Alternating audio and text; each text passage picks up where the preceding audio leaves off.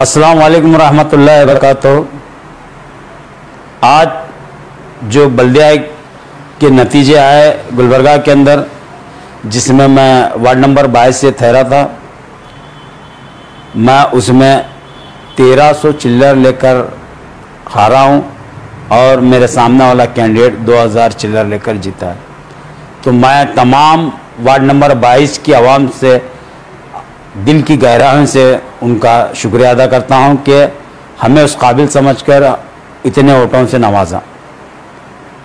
रही दूसरी बात, तमाम गुलबर्गा के जो सीट हारे,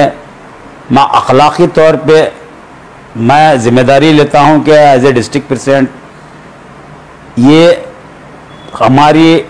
कोताही से कहीं ना कहीं आवाम का दिल जीतने में नाकाम रहे हम, लोगों तक अप्रोच होने में नाकाम रहे। एक दूसरे के कोऑर्डिनेशन में हम नाकाम रहने से हमको ये वक्त देखना पड़ा। तो यही वजह से मैं अपने पद से,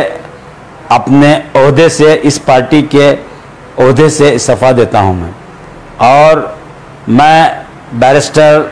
नकीब बिल्लत बैरिस्टर असदुद्दीन अवैसी साहब का भी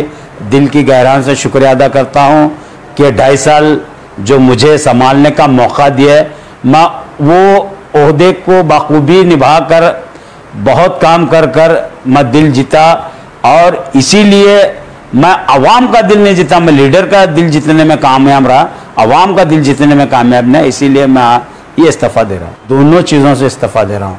पार्टी के मेंबरशिप से भी इस्तीफ़ा दे रहा हूँ और पार्टी के अहदे से भी इस्तीफ़ा